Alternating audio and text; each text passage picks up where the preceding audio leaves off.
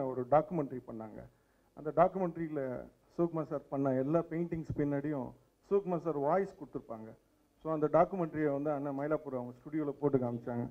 So ரொம்ப அற்புதமானது. இது ஒரு கண்காட்சியாக இருக்கணும்னு ஆசைப்பட்டேன். ஸோ அது இன்னைக்கு நடந்திருக்கு. அவங்க சன்ன தனஞ்சயன் சார் எல்லாம் சேர்ந்து பண்ணியிருக்கேன் ரொம்ப அதில் ஒரு சின்ன பாட்டாக காஃபி டேபிள் புக்குக்கெலாம் ஒர்க் பண்ணது ரொம்ப சந்தோஷம்.